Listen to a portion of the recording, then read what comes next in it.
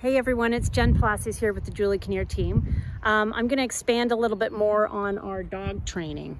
So here's the said dog. Um, I have had Sherman for six years, sorry, five years. I got him when he was one. And as soon as I got him, we did our dog training. So Shermy, come and sit. So I have him, he's hand trained. So hand signals and there he's uh, down. There we go, good boy. So um, we went to dog training five years ago and he still can do down at a distance, uh, stay, sit, all that kind of stuff. He does wait, which I think is really important.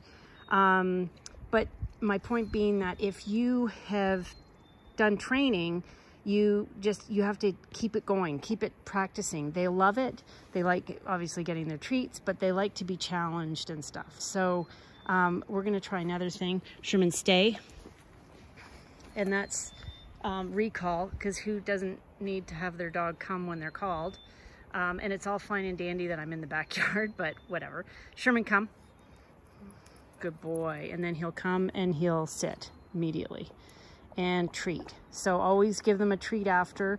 And um, and they really enjoy your dogs. A lot of my friends have puppies right now, so this is a great time to um, really work on their training and um, a well-trained puppy is a happy puppy and a happy owner. So um, those are my tips for today. Enjoy and everyone stay safe.